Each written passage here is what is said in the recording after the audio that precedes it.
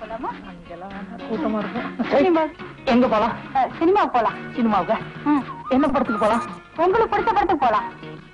எனக்கு பிடிச்ச படம்னா ஆ, மாமனாரின் இன்ப வரிகள் போலாமா? ஐயோ எனக்கு பிடிச்ச படமா சொல்றீங்களே நான் ரிக்ஷா நினைச்சா இல்ல சினிமா கூட பாக்ஸ் நினைச்சாயா? எனக்கு ரெண்டு ஒண்ணுதாயா அங்கேயும் காசு கொடுக்குறோம் உங்ககிட்டயும் காசு கொடுக்குறோம். என்ன ஒண்ணு? அங்க ஒரே இடத்துல உட்கார்ந்து இருக்கணும் இங்க தெரு தெருவா சுத்துறோம். சீக்கிரம் ஏறி வண்டியை மிதிரா அப்புறம் நான் மிதிச்சேன்னா எலும்பு சம்பளம் தெரியும்ல? புள்ளிஞ்சிருவேன் என்னய்யா? யோ உன் உடம்புக்கு சிகரெட்டே ஒத்துக்காது. ஏன் முன்னாலே பிடிச்சிருயா மரியாதையே இல்ல உனக்கு? மரியாதை புயல் இல்ல. மனசுல இருக்கணும். நான் சிகரெட் பிடிச்சாதான் மூடே வரும். ஆமா பெரிய மூடு வந்து கிழிச்சிட போற. போயா. ஆமா உனக்கு ஏட்டானுங்கிற எண்ணமே இல்லையா? நீங்க இன்ஸ்பெக்டர் ஆகணும்னு ஆசை இல்லையா? ஆ அது சரி. அது வேணா ஒண்ணு செய். ஒரு மர்டர் கேஸ புடிச்சு கொண்டாந்து என்கிட்ட விடு.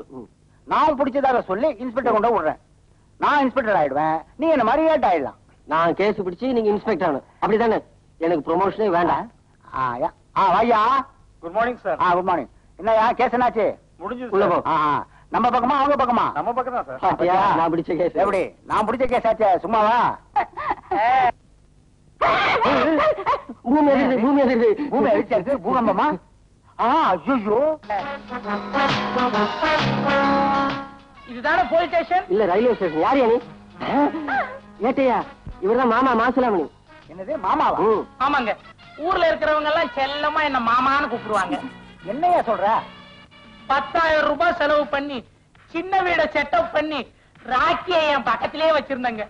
ஆனா பத்து நாளா ஆளையே காணுங்க. எவனோ தெரிஞ்சவன் தான் தூக்கிட்டு போயிருப்பான்னு நினைக்கிறேன். நீங்க தான் எப்படியாவது கண்டுபிடிச்சு கொடுக்கணுங்க அதெல்லாம் ஆகட்டும். இந்த பொண்ணு யாரு? இது ரெண்டாயிரம் ரூபாய்க்கு பிடிச்சது.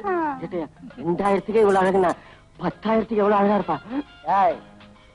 குடலை உருவிடுவேன். இவ வேணுமா? ஏயா அந்த பொண்ணை தூக்கிட்டு போனவன் அடையாளம் சொல்ல முடியுமா? தூக்கும் போது நான் பாக்கலைங்க ஏன் தூங்கிட்டு இருந்தியா சார் ஆனா தூக்கிட்டு போனவன் யாருன்னு என்னால ஓரளவுக்கு அடையாளம் காட்ட முடியும் எப்படிப்பா சொல்லியா? சினிமால வர வில்லன் மாதிரி இருப்பான். சினிமாவியா எந்த சினிமாவில ராமாயணம். அப்ப பத்து தலை இருக்கணுமே. பத்து தலை இருக்கும் இருபது கை இருக்கும் இருபது கால் இருக்கும் பத்து நாய் இருக்குயா மொத்தத்துல ராவண மாதிரி இருப்பாங்கிற. அப்போ அந்த பொண்ணு வந்து சீதை மாதிரி இருந்திருக்கும்.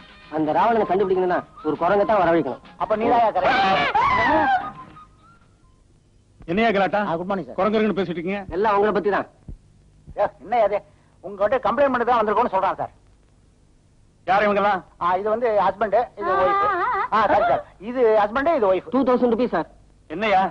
ஒண்ணு இல்ல சார் ரெண்டாயிரம் ரூபாய் சார் அதாவது ரெண்டாயிரம் ரூபாய் காணாடிச்சேன்னு கம்ப்ளைண்ட் பண்ண வந்திருக்கான் சார் எதுவா இருந்தா நீயா? லேடிஸ் உள்ள வைக்க வேண்டாம். பிரச்சனை ஆயிடும். கம்ப்ளைண்ட் வாங்கிட்டு சீக்கிரம் அனுப்பி.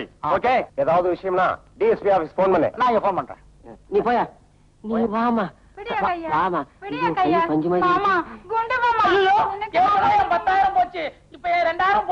ஒண்ணும் கவலைப்படாதயா. அவனால கம்ப்ளைண்ட் மட்டும் தான் எழுதி தர முடியும். ஒண்ணும் பண்ண மாட்டான். ஐயோ, என் ரெண்டாயிரம் ரெண்டாயிரம்.